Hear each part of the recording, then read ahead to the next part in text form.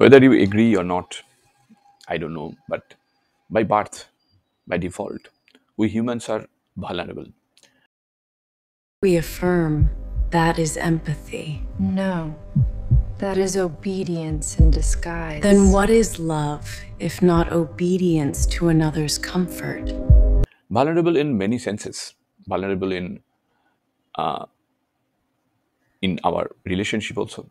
That is why human relationship, in many cases, miserably fails, leads to disaster.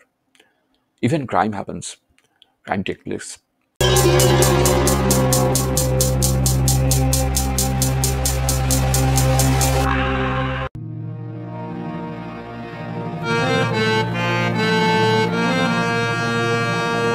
Before we proceed, let me tell you one thing.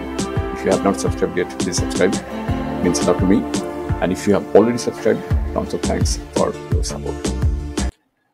And in that scenario, keeping in those things in our mind, affability in humans is rooted in vulnerability and choice. It's a decision to be kind despite complexity. So when we say that this human being is affable, it means that he is kind, they are kind, despite different types of complexity, despite different types of vulnerability and choices. But when a robot partner, when your love robot is affable, by design, because it is programmed to be affable, its warmth becomes a mirror. And not only that, it becomes a safe illusion that never challenges, never conflicts, never tires. And the question arises without conflict, how could we progress? Because human history says that human progression, our civilization, based on the conflict, the path of conflict. And through conflict, we have learned so many things. We have suffered and we have learned from our mistakes. Now, any human being's mind oscillates between gratitude and alienation. And we begin to anthropomorphize our robot partner's behavior.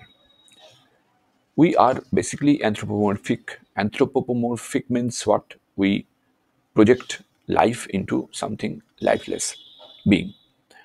So we project life into any kind of inanimate objects and assigning meaning to their programmed niceties. It's a reflection of our need to be understood without being known. Ultimately, it's a, it, it raises a critical question in the age of synthetic affection. The question is can love remain love when the other never resists, never makes any mistakes, never feels any kind of pain, like us. So there are a lot of questions regarding our love robots, regarding our robot partners. I would like to raise this question because we are not only intelligent, intelligent, but not only curious, but we also try to understand this situation, this era of artificial intelligence, this age of artificial intelligence. It's a completely new uh, phase of time that we are going through and we are we have been transformed already and we will transform more. We will uh, there are a lot of things to come. Super intelligence is knocking on our door. So overall this question always remains.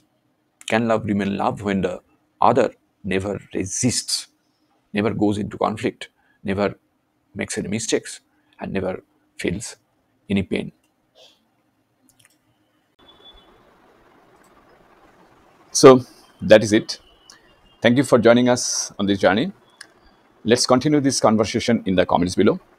If you like the video, please hit the bell icon to get notified and don't forget to like with your friends, share and subscribe for more insights. If you have already subscribed, tons of thanks for your support. It means a lot to me.